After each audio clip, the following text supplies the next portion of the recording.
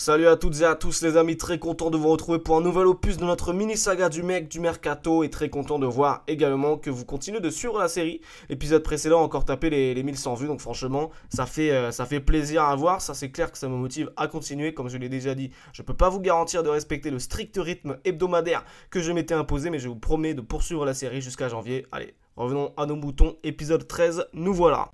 Une nouvelle arrivée pour l'Astana Kazakhstan qui carbure décidément et c'est encore un italien, ça confirme le virage pris avec l'arrivée du sponsor chinois XDS, même si à tout moment euh, je dis n'importe quoi et ce n'est en aucun calier. En tout cas très clairement on est passé d'au moins une dizaine de Kazakhs dans l'équipe chaque année à à peine 3 en 2025, tandis que eux les Italiens peuplent vraiment cette équipe, on en aura 12 en 2025, on sait qu'il y a toujours eu moult Italiens chez Astana depuis la création de l'équipe, mais là c'est vrai qu'on atteint peut-être euh, un record. Fausto Massala donc qui évoluait chez Soudal depuis 2020 après avoir quitté à l'époque la CCC en cours de saison. Bon grimpeur, bon coureur polyvalent, même en vrai, euh, bon coureur d'équipe aussi, plus souvent coéquipier que leader. Cette année, il n'a pas eu de résultats notables, hormis le maillot de grimpeur des 4 jours de Dunkerque, ce qui fait toujours plaisir, j'imagine. Son dernier succès remonte à 2022 sur le Tour d'Oman, sur la belle étape costote de Muscat. Et pour en finir avec Massala, il faut savoir qu'il n'a participé à aucun grand tour depuis la Vuelta en 2022. Je ne sais pas si c'est son choix ou celui de la Soudal, mais en tout cas si c'est celui de son équipe, ça expliquerait bien son départ. 4 recrues annoncées du côté de Bahreïn Victorious et ce sont les 4 dernières du Mercato Bahreïn qui comptent euh,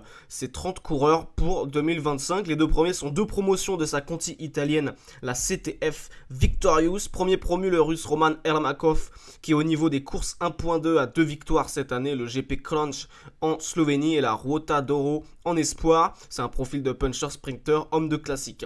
Deuxième jeune c'est Oliver Stockwell, 22 ans. Là aussi on a un profil de puncher mais plus puncher grimpeur.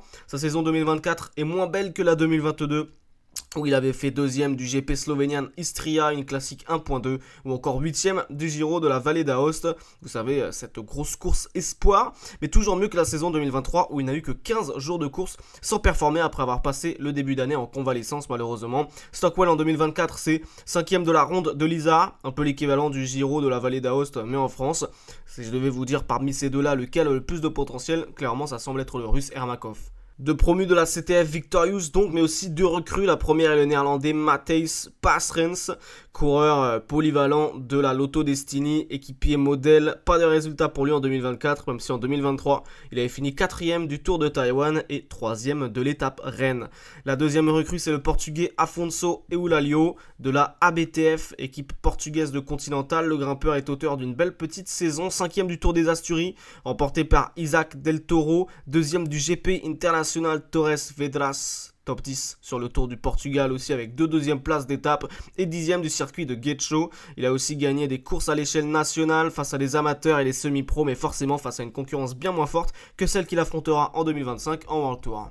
Alpecin de Quenin ou Alpecin, c'est un nom que je n'ai que très peu prononcé dans cette série car jusqu'à présent il n'avait officialisé aucun transfert. L'équipe belge a pris son temps. Faut dire qu'un peu comme pour la DSM Firmenich dont j'ai déjà parlé, la plupart des coureurs sous contrat cette année l'étaient déjà pour la saison prochaine donc il y avait moins d'urgence. Malgré tout, ce début de novembre est le moment pour la de sortir de sa tanière avec 6 transferts tout fraîchement annoncés, ce qui fait qu'il reste une place dispo dans l'effectif pour 2025 donc à voir qui la prendra ou est-ce qu'elle restera euh, vacante. Premier arrivant, on commence par le longiligne rouleur danois Johan Price ou Price, c'est toujours un doute, Pechtersen, champion du monde espoir chrono en 2021 et d'Europe 2021 et 2019. Il ne compte toujours pas de victoire en pro, même s'il a signé l'un de ses meilleurs résultats il y a tout juste 3 semaines en finissant sur le podium du chrono des nations. Il avait cru enfin remporter une course de haut niveau sur le chrono du Danemark cette année, mais avait été disqualifié pour avoir emprunté une piste cyclable. On est sur un pur de chez pur rouleur. Deuxième recrue, Gal Glivar de la Conti de la UAE Team Emirates. Alerte espoir, hein, parce que le Slovène a performé cette année sur tous les terrains. Vainqueur d'un chrono et du général du Tour de Sharjah aux Émirats Arabes Unis où il a fini cinquième de l'étape de montagne et troisième d'une arrivée au sprint troisième d'une étape accidentée du Tour du Rwanda, vainqueur du Giro del Belvedere en espoir, une course vallonnée, et ce devant six coureurs italiens qui devaient bien avoir les boules. Il y a plein d'autres résultats, n'hésitez pas à aller voir car je ne peux pas tout citer. Il a fait troisième du Tour de Lombardie aussi et deuxième de l'étape 1 du Tour de l'Avenir grâce à une échappée. C'est vraiment un coureur qui sait tout faire, donc impossible de deviner sa trajectoire. Surprenant d'ailleurs que la UAE n'ait pas su garder cet espoir slovène. Les quatre autres arrivants sont quatre promus de l'équipe de développement. On commence par le seul néerlandais et peut-être le plus gros espoir de la promotion, Tibor Del Grosso, un nom qui parle peut-être à certains, un cyclocrossman, un Flandrien, champion des Pays-Bas espoir cette année, vainqueur du Grand Premio New York City. Vu que je connaissais pas cette course, une classique 1.2, euh, vainqueur du prologue de l'Oberösterreich Rundfahrt en 2.2, plusieurs top 10 aussi sur les championnats d'Europe et du monde espoir. Voilà un coureur qu'il faudra suivre l'an prochain, mais aussi cet hiver en cyclocross. Deuxième coureur, le sprinter et flandrien belge Simon De Hers, 23 ans, vainqueur du GP Rick Van Looy, de deux étapes du Tour du Loir-et-Cher et d'une étape de l'Olympias Tour en euh, point 2. Euh, il s'est aussi illustré en point 1 et en point pro face au World Tour.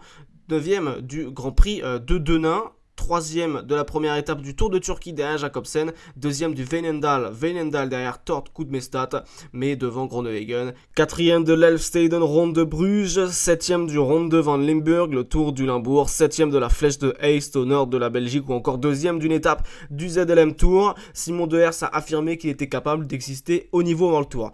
Emile Verstringe, troisième de la liste, jeune pépite aussi car il a une faculté intéressante, ce qu'il a performé vraiment sur tous les terrains cette année, mais tous les terrains.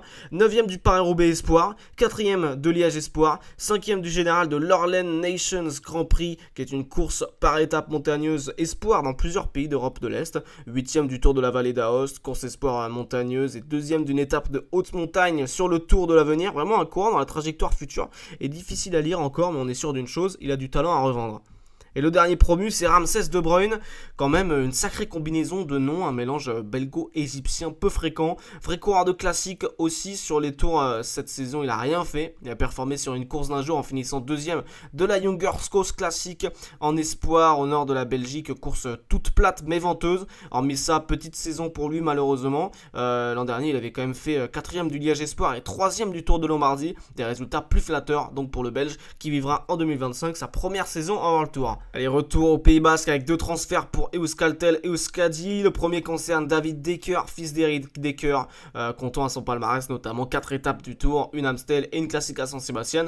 David, lui, est un sprinter, au contraire de son père. Pas de victoire pro à son actif, mais de beaux accessites, comme une deuxième place sur le Giro l'an dernier derrière Joe Milan. Encore en 2023, deuxième derrière Merlier sur le Tour d'Oman. Deux deuxièmes places encore en 2021 sur l'UAE Tour. Et vraiment à rien de gagner, même si sa saison 2024 euh, est plus en demi-teinte quand même avec 3 top 10 seulement, une 7ème place sur l'étape 4 du ZLM Tour et 2 3ème places sur le Grand Prix Jean-Pierre Montserré et l'étape 1 du Tour région Pays de la Loire. En rejoignant le Conti Pro, il pourra peut-être accéder à un premier euh, triomphe.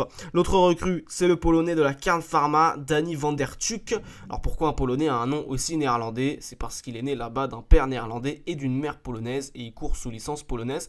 Euh, tout simplement et ce depuis très précisément le 9 février 2024. Bon, si je vous ai fait une tirade sur sa nationalité, c'est parce que sportivement, il n'y a rien à dire. Je vais pas vous mentir, même si une quatrième place sur le chrono en Pologne cette année, c'est pas si mal. En tout cas, ce transfert démontre le virage pris par la Euskaltel qui s'arrête définitivement sur le recrutement 100% basque et espagnol. L'an prochain, elle comptera 5 étrangers dans ses rangs. Pour rester vite fait au Pays Basque avec la Laboral Kucha qui est un peu la version féminine de la Euskaltel, euh, Yanina Kushkova, l'Ouzbek qui était dans cette euh, fameuse équipe Tashkent dans la participation au Tour cette année a été très controversée puisque leur niveau moyen est très faible, hein, très faible au bout de deux étapes. Il n'y avait plus qu'une seule coureuse et c'était Kushkova, les autres avaient abandonné ou fini hors délai alors que c'était euh, pourtant deux étapes vraiment toutes plates. L'équipe s'arrête en cette fin d'année pour raison financière et ça libère Kuskova qui est vraiment la seule cycliste digne de ce nom en somme dans cette équipe a vraiment eu des conflits avec ses dirigeants en plus, alors que c'est la meilleure, comme j'ai dit. Enfin bref, si ça vous intéresse, n'hésitez pas à rechercher. Il y a plein d'articles euh, là-dessus. En tout cas, l'info que je voulais vous montrer, c'était donc ça. Yanina Kushkova chez euh, Laboral Kucha. Et avant de définitivement quitter l'Espagne, des tours chez Burgos BH qui officialise le recrutement du sprinter de la Polti Cometa David Martin et ce pour une saison. Il a notamment fini quatrième d'une étape du Tour de Taïwan cette année et remporté le maillot à poids du Tour du Poitou-Charentes. Un autre nom qu'on n'avait pas entendu depuis quelques semaines, c'était Inos Grenadier en hibernation depuis le recrutement de Samuel Watson, un nouvel arrivant pour 2025 en la personne du grimpeur australien Lucas Hamilton. Hamilton qui quitte la Jaico Alula après une saison, il faut le dire, pas du tout au niveau. Euh, Deux top 10 cette année, 8ème sur les championnats d'Australie et 9ème sur l'étape 2 du Tour d'Arabie Saoudite et au sprint, alors que c'est un grimpeur, c'est ça le pire. Mais bon, le quatrième du Paris-Nice 2021 a assurément encore un coup à jouer, lui qui aura 29 ans en février prochain, ce qui est un âge où on peut encore progresser dans le cyclisme. Cofidis complète son effectif, ça y est, les 30 coureurs sont là pour la formation nordiste et le premier des deux derniers est Paul Ourselin, le vaillant équipier qui a passé 8 ans chez Total Energy, 8 ans dans la formation de Journée Bernodeau. C'est quand même une régularité assez remarquable au plus haut niveau, même si elle n'a jamais été récompensée par une victoire chez les professionnels, même si finir la saison sur une 7 place autour de Tai Lake en Chine en 2 points pro, c'est honnête. Le deuxième arrivant est Yann Mas. À chaque fois que je vois son nom, je peux pas m'empêcher de penser à la chanteuse, mais non, c'est bien le puncher néerlandais qui, après 3 ans chez Jaiko Alula, signe chez les Rouges et Blancs. Pareil que pour Orselin, ce sont des bons coureurs car on ne peut pas être en World Tour si on est un mauvais coureur. De toute façon, hormis si on profite d'un partenariat avec une marque de cycle taïwanaise, en effet, c'est une option. Bon, je disais donc, ce sont des bons coureurs, mais pas de résultats en pro marquants. Ce sont des gars qui, sur la plupart des courses, vont aider leur leader. Le dernier de la journée, Alex Baudin, grimpeur puncher français qui a obtenu cette année ses deux premiers succès en pro sur le Tour du Limousin avec une victoire sous le déluge accompagnée du maillot jaune final. Il a fait deux saisons chez Decathlon H2R avec une première forcément entachée par cette histoire de tramadol qu'il a fait écarter de l'équipe durant la fin de saison avant d'être réintégré en 2024 pour une saison 2024 donc avec un grand succès on l'a dit ce Tour du Limousin. Et si on fait le décompte chronologiquement il a aussi fini deuxième du GP La Marseillaise septième de l'étoile de Bessèges dixième du Pays Basque en World Tour quatrième sur l'étape 1 euh, du Giro deuxième de la Coppa Bernocchi